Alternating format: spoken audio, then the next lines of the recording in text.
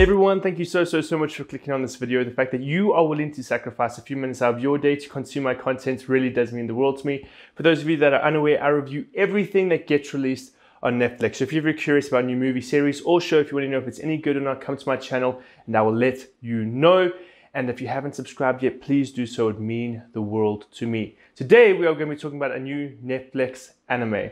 And when I watched the trailer, I thought it was by far one of the weirdest concepts ever. But after having actually watched it and really, really enjoyed it, I have to say, that's what I feel like a lot of movies and shows are missing nowadays. An interesting concept that feels incredibly out there, but is able to actually become entertaining and enjoyable to watch. Now, I know I'm going to get this name wrong, but it is Terme Rome Nove. I know it's wrong. Derma Rome Nove. I know it's wrong. I know it's wrong. I'm very, very sorry. but if you've seen the spelling, you'll understand why it's tricky. But ultimately, we follow Lucius, who wants to be a Terma um, architect. And he is, you know, he exists within the Roman Empire back in the day, back in the past.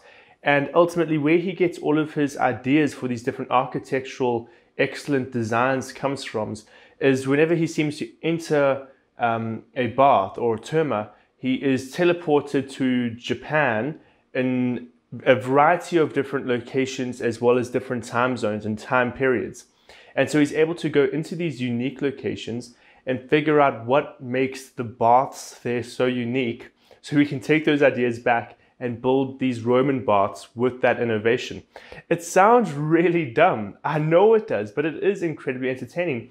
And a lot of its enjoyment comes from this unique concept. We have this man, Lucius, who is obsessed with these Roman baths. That's his whole life. He has such a passion for them. He sits there in the bath and, like, in classic anime tropes, overthinking everything. Wow, look at this bath. It's powerful, it's beautiful. I can feel the stress coming off of my body, and you can see its magnificent design. And so that's how his brain works. And it's, it's always exciting and, and interesting when they decide to take something that seems so foreign and, and make it someone's passion.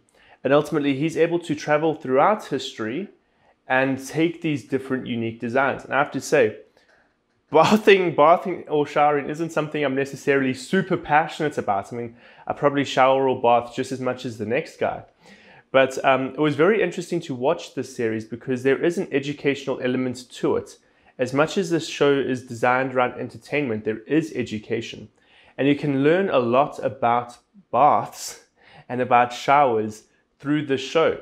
And again, because of the entertainment side of it all, and it is actually really entertaining, and there are many scenes that are incredibly, incredibly funny, especially when Lucius interacts with what he calls the flat faces, who uh, hopefully I don't get cancelled for saying that, but are the, are the Japanese people because he has he's never seen a Japanese person before, and he doesn't understand the world beyond the confines of the Roman Empire.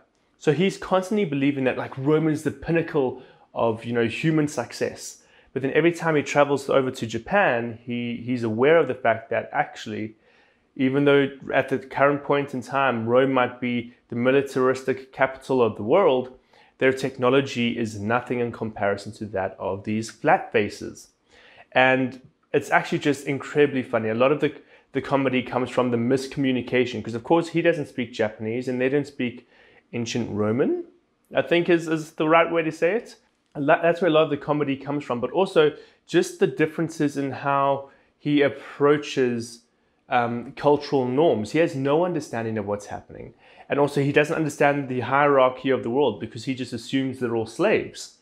And so, it's him trying to talk to these slaves when they're not slaves, but no one's understanding anything. A lot of the comedy comes from that, and it is entertaining and it is a lot of fun to watch. From a more technical point of view, the animation is just that it's animation, it's serviceable. I wouldn't say it's anything to write home about. It is very, very pretty to look at. You can see that the artist put a lot of work and effort into it.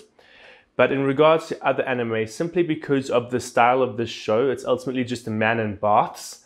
There's there's nothing really to ride home about. There's it's just the animation is there, the characters are interesting to look at, and it is a lot of fun. Uh, but it's not like a technical marvel by any stretch of the imagination. In regards to the voice acting, that's where I found a lot of fun.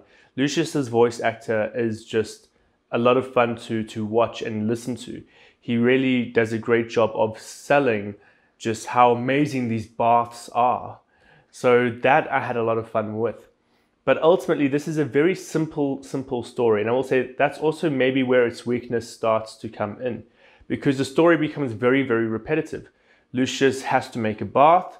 He falls into a body of water, gets traveled back to Japan, and he finds the solution to his problem in Japan, travels back to Rome, and is able to make a bath.